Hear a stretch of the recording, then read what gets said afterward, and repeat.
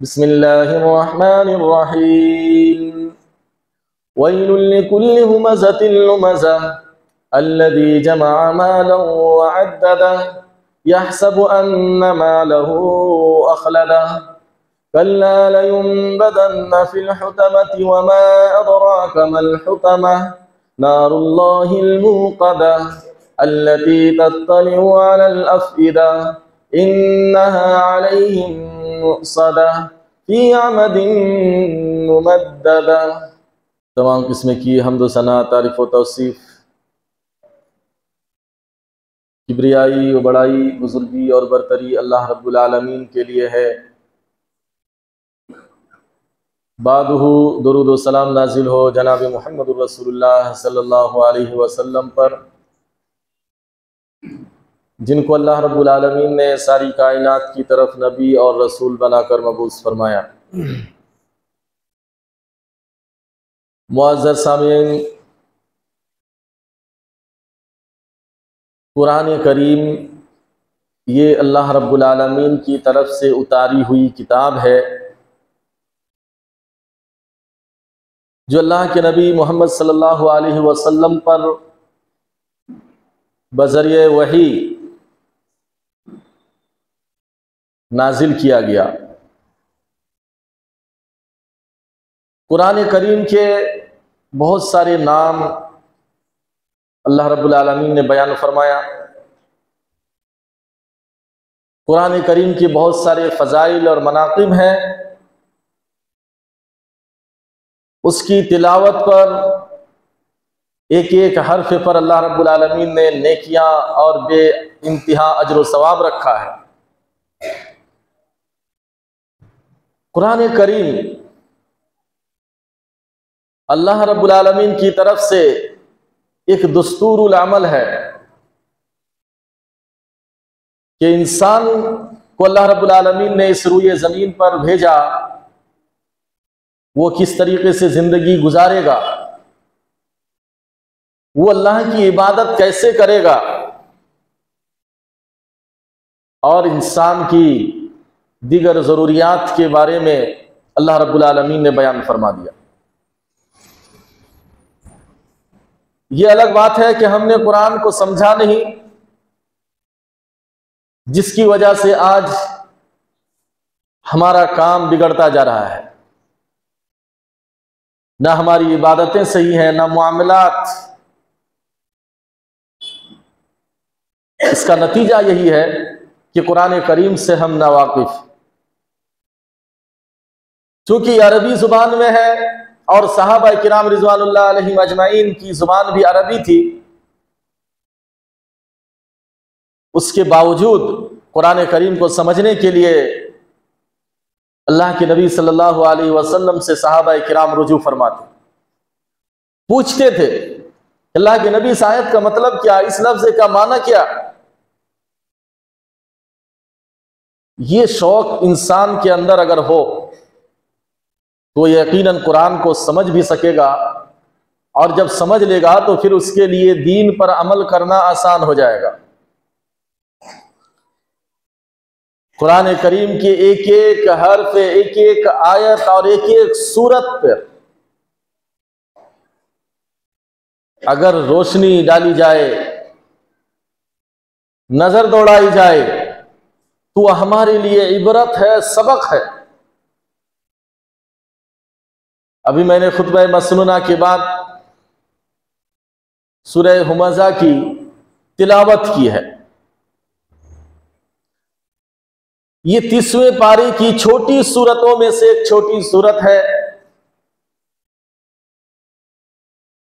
ہم اسے نماز میں پڑھتے بھی ہیں، سنتے بھی ہیں اور ہم میں سے بہت سارے لوگوں کو یہ صورت یاد بھی ہے۔ لیکن کیا ہم نے کبھی اس کے معنی اور مفہوم پر غور کیا ہے کہ اس چھوٹی سی صورت کے اندر اللہ رب العالمین نے ہمارے لیے کیا سبق رکھ دیا ہے؟ اللہ تعالیٰ فرماتا ہے، وَيْلُ لِكُلِّ هُمَزَةٍ لُمَزَةٍ۔ ویل کا معنی تباہی، ہلاکت، بربادی یا پھر ویل، جہنم کے ایک وادی کا نام ہے۔ اللہ تعالیٰ فرماتا ہے کہ جہنم ہے۔ یا پھر اس کے لیے تباہی، ہلاکت، بربادی ہے۔ کس کے لیے؟ آگے فرمایا کل تل مزہ ہر عیب ٹٹولنے والے اور غیبت کرنے والے کے لیے۔ دیکھیے یہ دونوں لفظ کہ مفسرین نے اور بھی بہت سارے معنی یا کسی نے اس کو مترادف قرار دیا۔ خیر، تو عیب ٹٹولنے والے کے لیے، عیب ٹٹولنے کا معنی ہے اس کو اپنی فکر نہیں ہے۔ دوسرے کے پیچھے لگا ہوا ہے۔ یہ کہا جا رہا ہے۔ یہ کیا کر رہا ہے؟ رات کو کہا جاتا ہے، دن کو کہا جاتا ہے۔ یہ دوسرے کے عیب کو ٹٹولنے کے لیے ہمیشہ لگا رہتا ہے۔ اور اپنی فکر نہیں ہے۔ اگر کسی دوسرے کو کوئی برائی کرتا ہوا دیکھ لیا تو پھر اس کا چرچا وہ پورے سماج میں، معاشرے میں کرتا پھرے گا دوسروں کے سامنے۔ کیوں؟ مقصد کیا ہے؟ اس کو معاشرے میں بے عزت کرنا۔ ہم سمجھتے ہیں کہ یہ معمولی جرم ہے، معمولی گناہ ہے۔ اللہ رب العالمین نے اس گناہ پر فرمایا، اس کے لیے ویل ہے، جہنم ہے۔ تباہی ہے، بربادی ہے، ہلاکت ہے۔ دنیا میں بھی وہ شخص برباد ہوگا۔ اپنے مقصد کو چھوڑ کر دوسرے کے پیچھے پڑا ہوا ہے، عیب ڈھونڈ رہا ہے۔ یہ بہت بڑا جرم ہے اللہ تعالی کے یہاں۔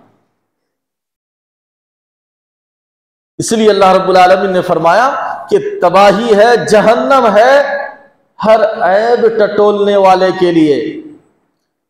جبکہ حدیث میں اللہ کے نبی صلی اللہ علیہ وسلم نے فرمایا، من سطر مسلم سطرہ اللہ جس نے کسی مسلمان کو کوئی غلط کام کرتا ہوا دیکھا اور اس کو پورا یقین ہے کہ میرے علاوہ اور کسی نے اس کو نہیں دیکھا ہے۔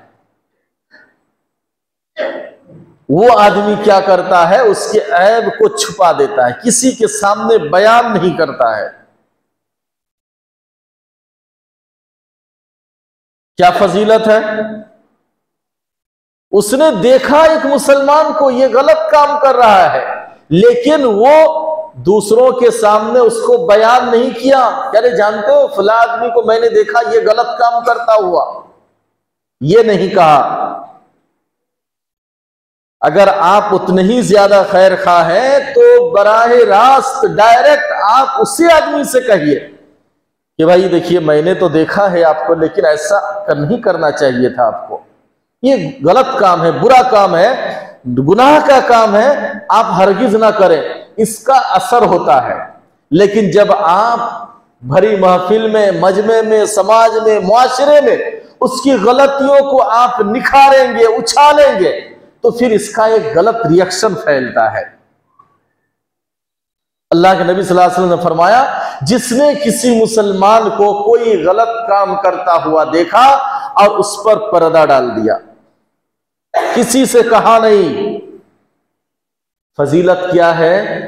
سطرہ اللہ یوم القیامہ۔ قیامت کے دن اللہ تعالی اس بندے کے بے شمار گناہوں پر پردہ ڈال دے گا۔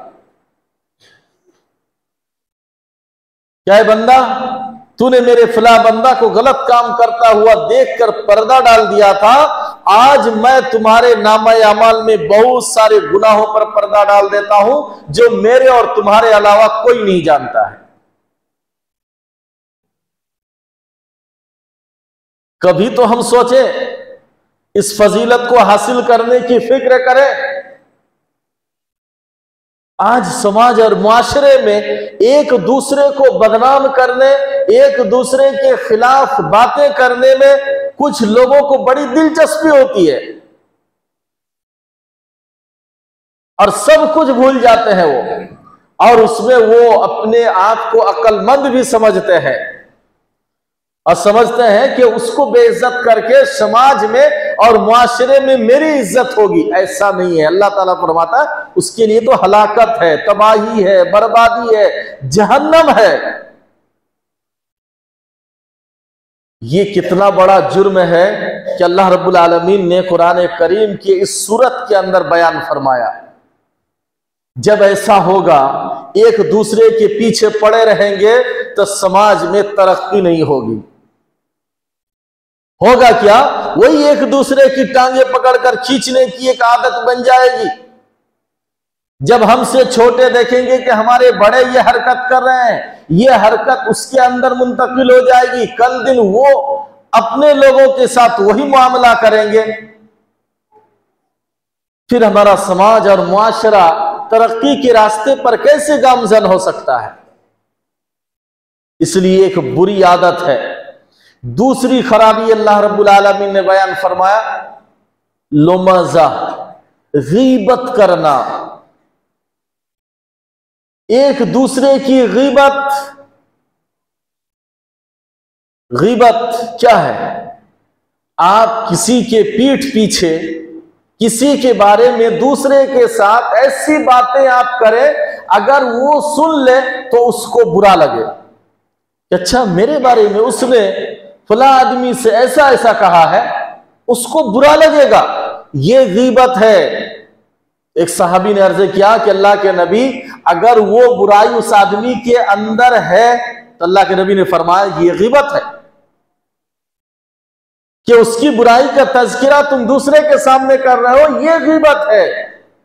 اور ایک صحابی نے عرض کیا کہ اللہ کے نبی، اگر وہ برائی اس کے اندر نہیں ہے اور ہم نے وہ بنا کر کسی کے سامنے کہہ دیا تو اللہ کے نبی صلی اللہ علیہ وسلم نے فرمایا کہ یہ توہمت اور الزام ہے، یہ اس سے بھی بڑا جرم ہے کہ اس نے وہ جرم نہیں کیا ہے اور تم نے اس جرم کو اس کی طرف منسوب کر دیا، اس کی نسبت اس کی طرف کر دی۔ یہ الزام ہے، توہمت ہے۔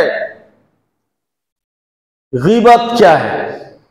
قرآن کریم میں سورہ حجرات کے اندر بھی اللہ رب العالمین نے اس کا خاص تذکرہ کیا، فرمایا، وَلَا يَغْتَبْ بَعْضُكُمْ بَعْضًا، أَيُحِبُّ أَحَدُكُمْ أَن يَأْكُلَ لَحْمَ أَخِيهِ مَيْتًا فَكَرِهْتُمُوهُ.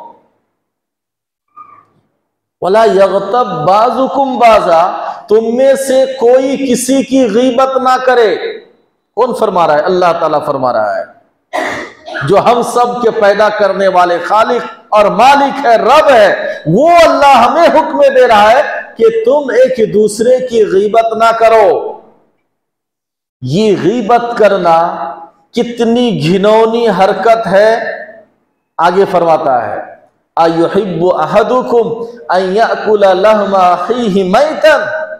کیا تم میں سے کوئی اپنے مرے ہوئے بھائی کا گوشت کھانا پسند کرے گا؟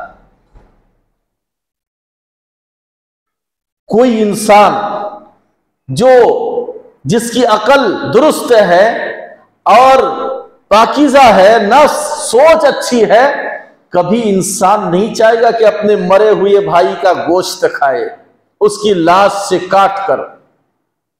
یہ انسانی فطرت کے خلاف ہے۔ اللہ تعالیٰ فرماتا ہے کہ غیبت کرنا ایسا ہی ہے جیسے تم اپنے مرے ہوئے بھائی کا گوشت کھانا پسند کرتے ہو۔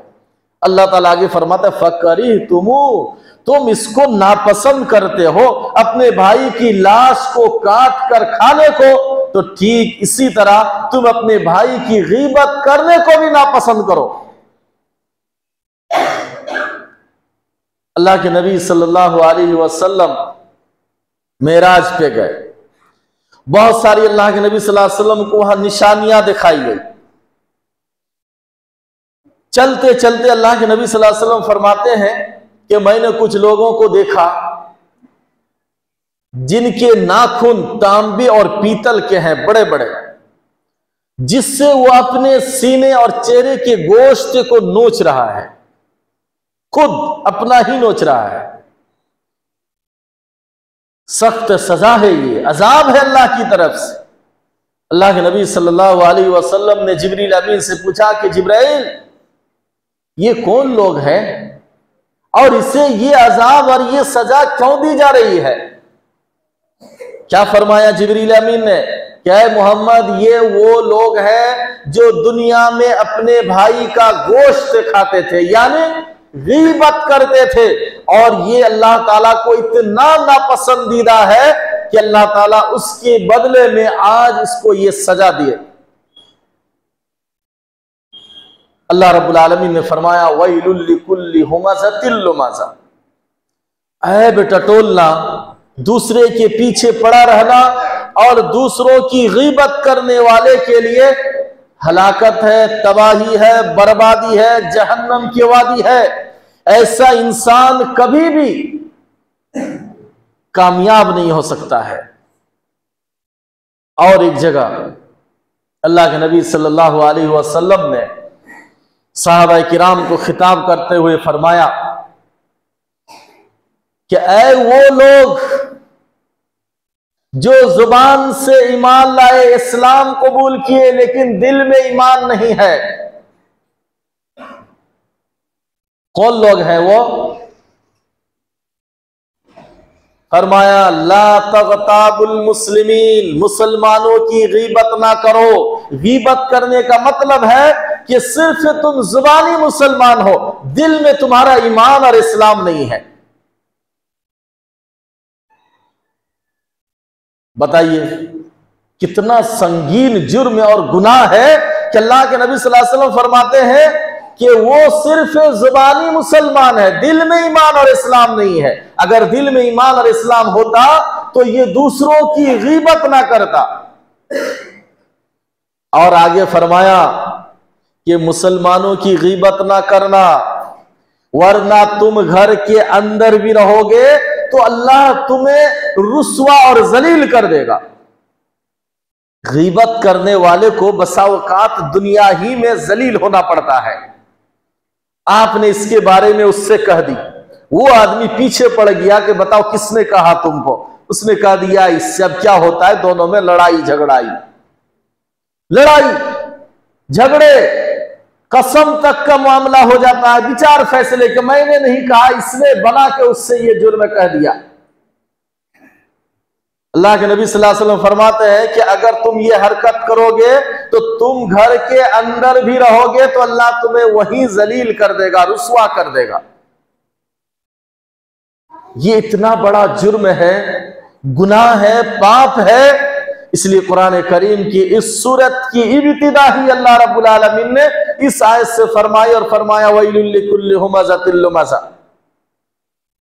ضرورت ہے کہ ان چیزوں کو ہم گناہ سمجھیں۔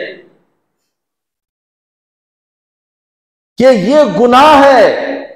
قرآن میں اللہ رب العالمین نے بیان فرمایا اور جہاں تک ہو سکے ہم اپنے آپ کو، اپنے گھرانے کو اور اپنے سماج کو ان دونوں برائیوں سے دور رکھنے کی کوشش کریں۔ اگر ہم اپنی کامیابی چاہتے ہیں تو، ورنہ اللہ تعالیٰ فرما دیا کہ یہ دونوں حرکت کرنے والے کبھی کامیاب نہیں ہوں گے۔ ان کا سماج معاشرہ ترقی نہیں کرے گا۔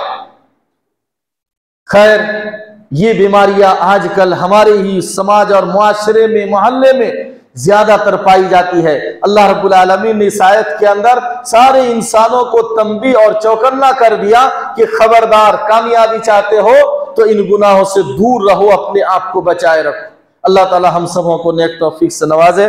آمین۔